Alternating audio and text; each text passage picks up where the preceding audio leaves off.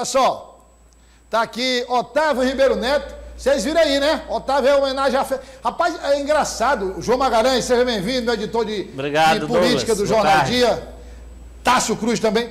Aí, rapaz, aqui foi uma preparação cinematográfica pro Otávio participar da política do dia com essa camisa estalando aí, essa camisa Louis Vuitton, é, que ele comprou só pro, pro, pro, pros festejos juninos. Aí preparamos, e aí Otávio com café, tudo cenográfico e tal. E encomendamos uma trilha sonora ao vivo, trilha mais naquela trilha da quadrilha mesmo assim quente, né? Aí, vai Marcelo, o Marcelo bota, somos as cantoras do rádio, rapaz, não dá. Aí murchou o Otávio, o quadro foi embora, a homenagem. É, é. Ele tá indo pra Camusim amanhã, eu disse, se ele botasse no pendrive, a, a, a, companhia dele pula na polícia rodoviária, não passa nem da PRF do posto, viu? Olha, política do dia agora. Nós vamos começar falando sobre cooperativismo. Teresina está sediando a primeira edição do da Feira do Cooperativismo com o tema Sustentabilidade, Meio Ambiente, Agricultura e Agronegócios. Durante dois dias de evento, o público vai conferir temas é, importantes sobre o cooperativismo. O Tássio Cruz, nosso tuxê, esteve lá e traz agora os detalhes e você acompanha na tela do Jornal Dia News. O seu João Aparecido produz mel e pólen na região de São Raimundo Nonato no sul do Piauí. Presidente da cooperativa Mel do Sertão, ele e cooperados de todo o estado participam neste final de semana da primeira feira do cooperativismo do Piauí. O evento, promovido pela OCD, Organização das Cooperativas do Brasil, em parceria com o governo do estado e a prefeitura de Teresina, tem como tema sustentabilidade, meio ambiente, agricultura e negócios. O representante da OCD no Piauí, Leonardo Eulálio, destaca a importância da feira para a economia local. Olha, o cooperativismo é a forma mais ideal para o pequeno né, poder crescer. Né? Ela traz todas é, as formas de organização, de desenvolvimento sustentável, em, em consonância com o meio ambiente. Né? e o desenvolvimento econômico financeiro para as famílias no campo, principalmente. E esse evento aqui é, é a forma que mais de divulgar os nossos produtos para o Piauí todo, né? conhecermos as diversas formas de trabalho das cooperativas no estado do Piauí, que, que vem dando essa grande contribuição para o desenvolvimento social, econômico e financeiro das famílias no campo. Ainda em desenvolvimento no Piauí, o setor do cooperativismo traz um novo panorama para o agronegócio estadual como revela o secretário de Assistência Técnica e Defesa Agropecuária, Fábio Abreu. Bom, nós temos a responsabilidade de representar uma área que é importantíssima para o setor de agropecuário, o setor da agricultura familiar. E nesse aspecto, as cooperativas elas são importantíssimas. Né? Nós temos muitas possibilidades. Eu vejo que o mercado do cooperativismo aqui no Piauí ele ainda é muito incipiente. E nós precisamos orientar e divulgar para as pessoas, sejam os produtores, sejam as agroindústrias, que eles, de forma cooperativa, é, atuando juntos, terão força muito maior, aumentando o seu mercado, aumentando a sua capacidade de vendas e conseguindo também é, recursos é, financeiros para os seus projetos. O principal desafio da feira, que reúne produtores de diversos setores do estado, é conscientizar para a importância e a força do cooperativismo no Piauí. A cooperativa ela é de grande importância para o apicultor no trabalho de agregação, desde o trabalho de agregação social, educacional e também no que diz respeito ao volume de produção para canalização no mercado. Nós somos do território Serra da Capivara, a cooperativa Mel do Sertão hoje conta com mais de 300 associados, que são famílias pertencentes a 18 municípios do território Serra da Capivara. O município de São Raimundo onde a gente tem a sede da cooperativa, produz em média 600 toneladas de mel por ano e é o maior produtor de mel do estado do Piauí e o nono maior produtor de mel do Brasil. E o território Serra da Capivara hoje é o maior produtor de mel do Piauí, entre os 12 territórios de desenvolvimento, com cerca de 2 mil toneladas de mel por ano. Parabéns aí ao doutor Leonardo Eulálio, que representa o cooperativismo aqui no estado do Piauí e o nosso desejo de que cada vez mais as pessoas procurem o cooperativismo, porque os resultados são concretos. Basta ver aí o cooperativismo funcionando na Europa. Né? É uma das principais é, formas de congregar trabalhadores, fortalecer o produto, agregar valor e também chegar ao mercado com competitividade. O, vamos falar agora do William do Amaral, que assume o INSS. É hoje, né? Ele assume hoje o INSS, hoje. né? Assumiu Vamos hoje acompanhar também. então. Veja aí. Ah, ó, o, o, o, falando nisso, ele assume o INSS. Nós tivemos recentemente aqui com, com o delegado da Receita Federal, né? Aliás, quem não fez o imposto de renda, viu? Quem ele fez o imposto de renda tem que procurar a, a, a, o contador, porque tem lá o passo a passo para você é, buscar a declaração, porque eu não sei exatamente qual é o período, né? Mas se passar de um determinado período, tchau, viu? Aí isso é para malha fina mesmo, aí é muito grande, viu? Encontram o hein? aí. Um abraço especial para o nosso diretor, Jonas Santos, que está de férias acompanhando aqui. Um grande abraço para ele, mandou mensagem aqui. Tá de férias, mas ligado no jornal. O Jonas é tanta coisa que ele. O salário é tão alto que ele recebe um carnê do INSS para pagar uma parcela por mês, durante 12 meses. Entendeu? Ó, não tem lá o material, né? Vamos seguir em frente. Francisco Lima. Tem do Francisco Lima antes de eu chamar? Eu não diretamente encerra aí, vamos logo para festa junina. Né?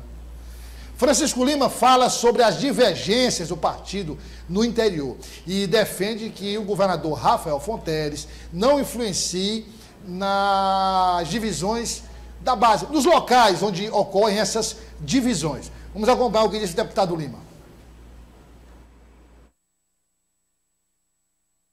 Ele, inclusive, tem repetido isso. Teve uma reunião lá no início do ano com os parlamentares, onde ele deu essa sinalização, não é, de que se tiver dois partidos com disputa em pé de igualdade, então, primeiro momento, ele vai tentar unificar a base, não sendo possível, então cada um cuida da sua, da sua candidatura. O governador é muito correto nas suas posições e vai fazer um esforço, por isso que ele pediu a todos os partidos da base, é, à federação, ao MDB, ao PSD e a outros partidos, que aponte onde são as suas prioridades, para poder, a partir daí, buscar um entendimento é, dentro dos candidatos ou dos pré-candidatos da base. O senhor acha que essa estratégia não enfraquece o PT, já que em alguns municípios o partido disputa com siglas da base? Não, às vezes tem siglas. O que, que é a ideia? Não é a sigla somente, é a base. Quem votou no governador. Entendeu? Vamos pegar aqui o caso Pedro II, por exemplo. Lá nós temos uma candidatura que foi a candidata, nós temos é, um time que apoiou o governador e tem um outro que é liderado que não votou no governador. Então é natural que ele tente ajudar a é, juntar quem apoiou ele na eleição anterior. Então isso é um esforço que deve ser feito. Então tem um outro, então municípios onde é mais acirrado já foi, embora tenha juntado no apoio, eu acho que vai permanecer. Assim, o governador é coerente, é pragmático e tem sido muito correto nas suas posições é, o governador é muito cuidadoso, o governador Rafael Fonteles. Então, por exemplo, ele entrevista, não adianta mais, é, claro, nossa função é perguntar, mas não adianta perguntar sobre eleição, porque ele não fala e não vai falar. Não vai falar, só vai falar no ano que vem. É o primeiro ponto, porque aí ele não mistura as agendas, não corre o risco de dizer o que pode ser usado contra ele lá no período eleitoral, inteligentemente ele não fala de eleição. Agora, eu queria sua avaliação sobre essa posição. Quer dizer, se no município tem uh, apenas um candidato da base e outro candidato de oposição, ele vai, apoia, sobe no palanque, participa. Mas naqueles que tem, por exemplo, um do MDB e um do PT, um do MDB e um do PSD, e não vai para um palanque nem vai para outro. Uh, na sua avaliação, qual o resultado dessa estratégia? Douglas, eu vou um pouco mais além. E município onde tem MDB, PSD e PT, fazer o quê?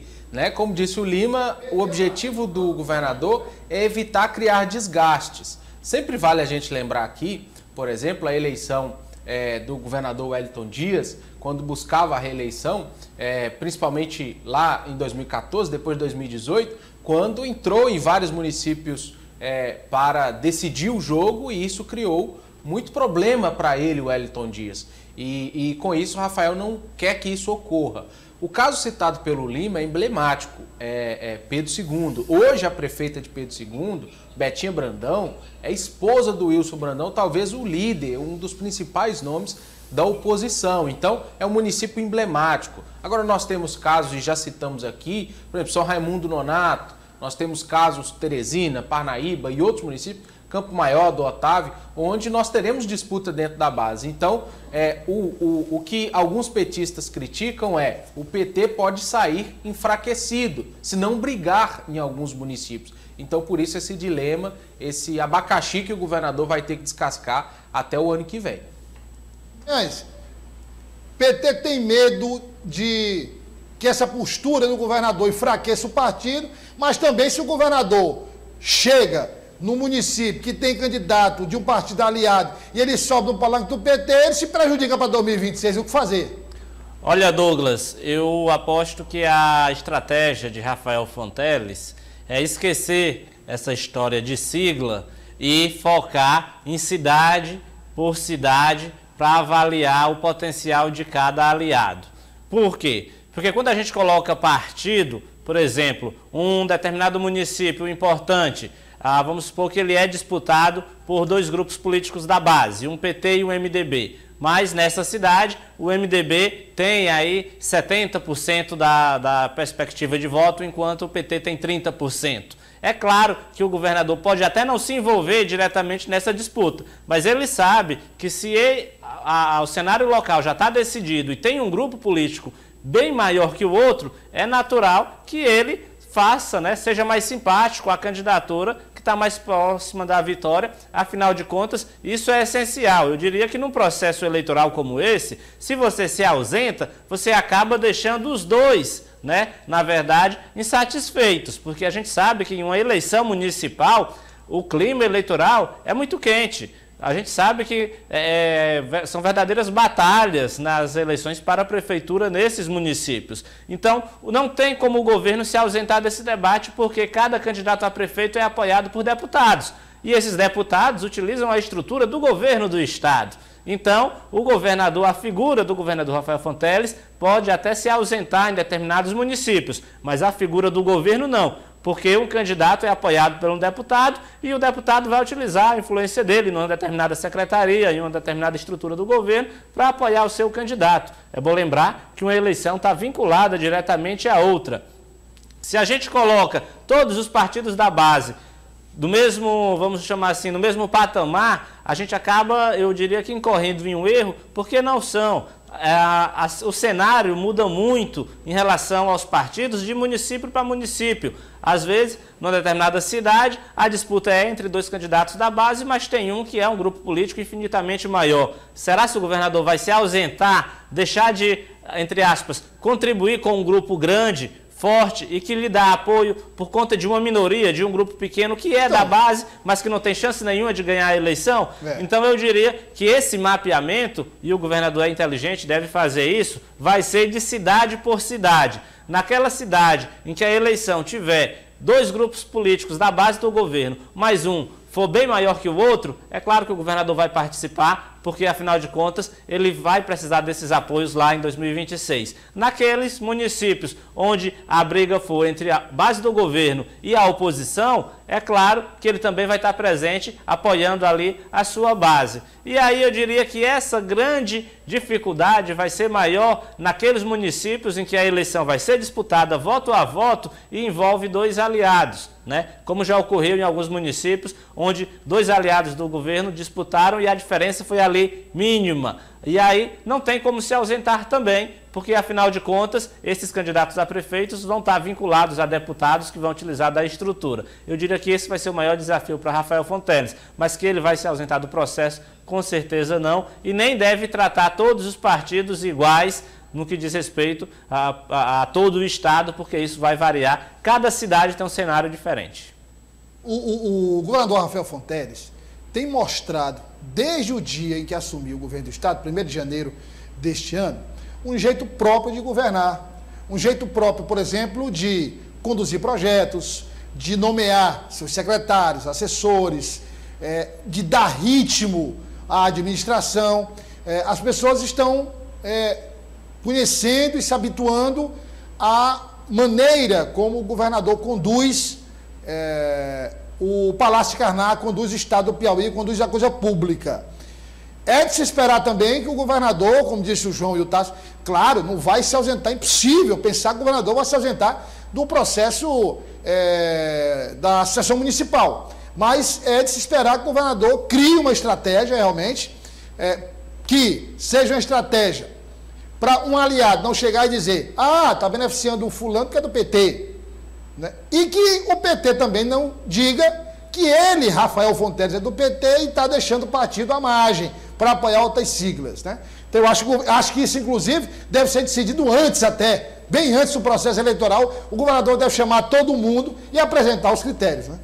É isso, Douglas. O governador, quando ele afirma que só vai tratar de eleição em 2024, isso não é um mero discurso, não é uma, uma mera falácia. O governador, na prática, não tem se envolvido nessas disputas municipais ainda. O que ele tem dito à imprensa que só entra no jogo, só vai uh, tomar posição e mover as peças do tabuleiro no próximo ano, que é o ano eleitoral, isso está acontecendo na prática e tem irritado algumas alas do PT. Por exemplo, o presidente municipal do partido já disse que até setembro o PT vai decidir o nome, ou seja, está fora desse raio de atuação do governador Rafael Fonteles, que diz que só trata em 2024 e o PT já quer que até setembro deste ano o nome esteja com uma espécie de campanha, esteja correndo as ruas de Teresina. No interior do estado não é diferente. Tasso e João lembraram muito bem, cada município tem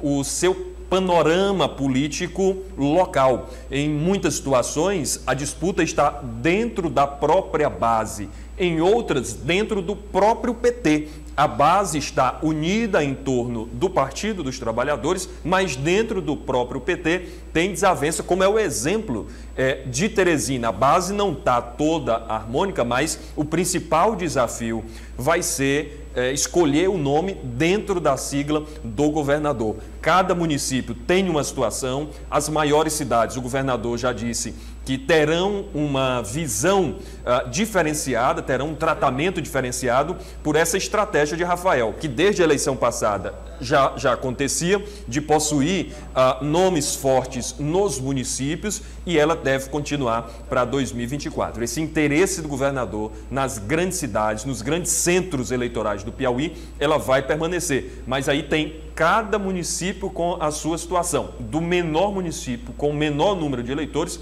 até a capital. Então, Rafael tem sim é, deixado para o próximo ano, deixado para 2024, parte da sua agenda para desatar esses nós que estão dados em vários dos municípios. Alguns mais tranquilos, alguns mais tranquilos, outros o desafio é bem maior. Olha só, o Tassi destacou na participação dele a declaração do deputado federal Marcos Aurélio negou, volta ao MDB e disse que fica no PSDB e disse que esse casamento, hein? Do PSD, desculpa, meu primo corrigindo aqui, é, disse que esse casamento não é para separação, não. Casou, vai ficar casado com o PSD. Acompanhe. Não me casei pensando em me separar, não. Estou muito bem no PSD, muito bem alinhado com o presidente nacional, com o presidente estadual, está tudo 100%. Então não tem divórcio no PSD em relação ao deputado federal Marcos Aurélio. Vou começar com o Tássio Cruz, aí vamos rápido, porque nós já estamos estourados. Né? Tá, tem gente se preparando aí, botando o chapéu para a quadrilha junina. O, o, o, o, Tem essa história da coligação cruzada, que ainda está sendo discutida, alguns concordam, outros não concordam, é, mas a, a pré-candidatura de Marcos Aurélio está posta. Agora, assim como a gente fala da Bárbara do Firmino, deputada estadual e de outros candidatos, é preciso construir a viabilidade da candidatura. Não é só colocar o nome nem construir essa viabilidade, né, Tássio? Douglas, não tem separação, mas as casas são geminadas e o muro é bem baixinho, de uma para outra, viu?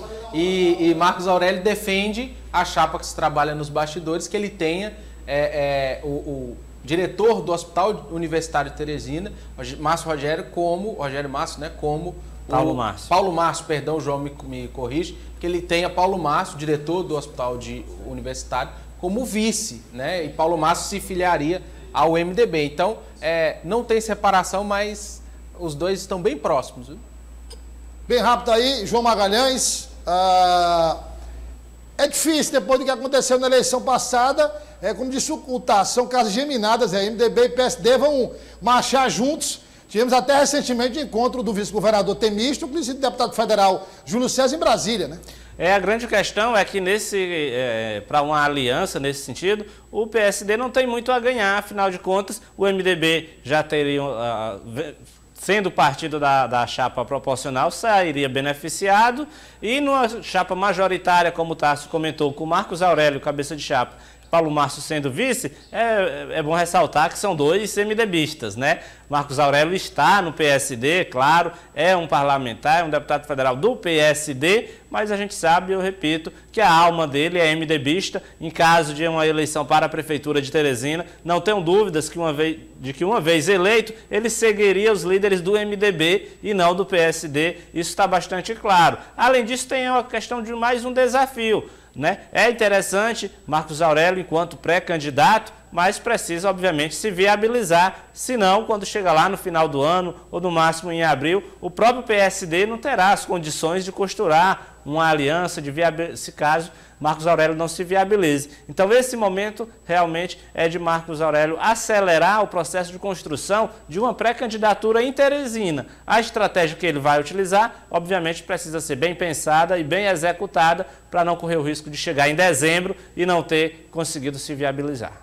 Essa, essa eleição vai ser muito disputada, Otávio, todo mundo já sabe disso.